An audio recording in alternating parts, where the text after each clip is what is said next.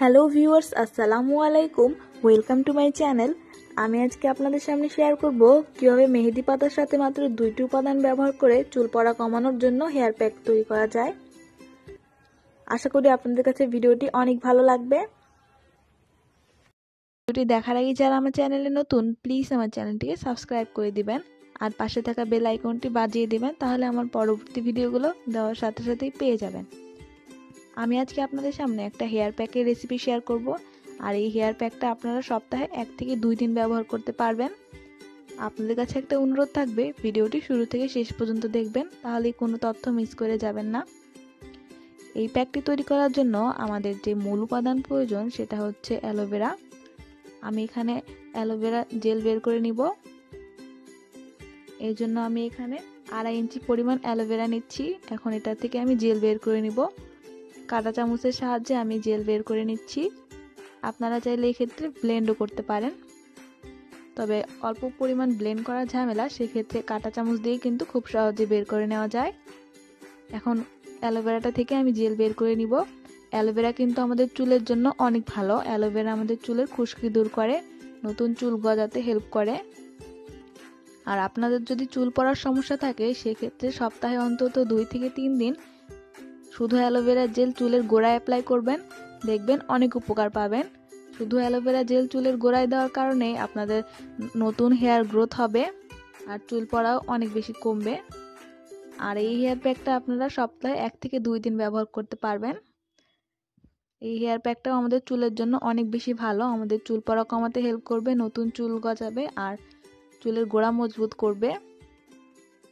আর যেহেতু সামনে শীতকাল, আমাদের চুলে কিন্তু খুশকির সমস্যাটা হবে। আর এই খুশকি থেকে দূর করার জন্য এই হেয়ার প্যাকটা অনেক বেশি ভালো। এই যে আমার অ্যালোভেরা থেকে জেল বের করে নেওয়া হয়ে গেছে। জেলটাকে একটু খুব ভালোভাবে মিক্স করতে হবে। এরপরে আমি এখানে ব্যবহার করব নারিকেল তেল।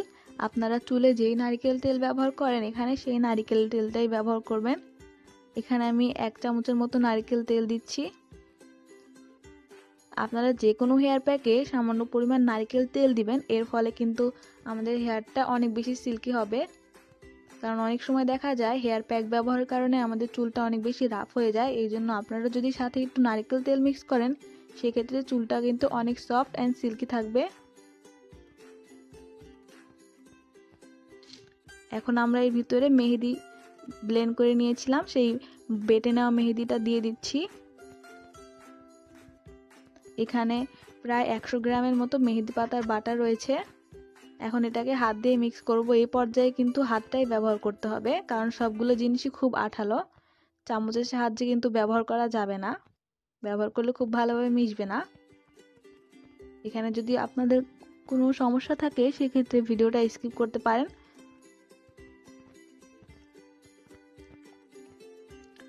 আর এই, আমার এই হেয়ার প্যাকটা একটু টাইট ছিল, যার কারণে আমি এখানে সামান্য পরিমাণ পানি মিক্স করে নিয়েছি।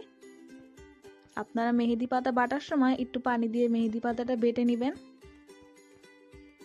এই যে ঘনত্বটা ঠিক এরকম হবে, খুব বেশি ঘন হবে না, আবার খুব বেশি পাতলাও হবে না। যেহেতু চুলে ব্যবহার করব, সেক্ষেত্রে সামান্য পরিমাণ পাতলা দরকার। যদি খুব বেশি ঘন আমরা প্যাক ব্যবহার করি, সেক্ষেত্রে কিন্তু হেয়ার প্যাকটা দেওয়ার সাথে সাথেই শুকিয়ে যাবে। আর এই হেয়ার প্যাকটা আপনারা সপ্তাহে এক থেকে দুইবার ব্যবহার করতে পারবেন। আর হেয়ার প্যাকটা আপনারা চুলের গোড়ায় ভালো মতো লাগিয়ে নেবেন।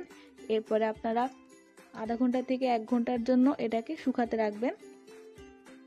এরপরে আপনারা শ্যাম্পুর সাহায্যে চুলটাকে ধুয়ে নেবেন।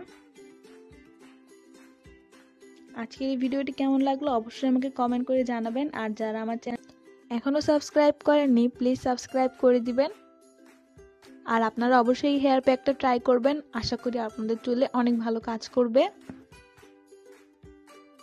আজকের মতো এখানেই বিদায় নিচ্ছি। সবাই ভালো থাকবেন। সবাই সবার জন্য দোয়া করবেন। আল্লাহ হাফেজ।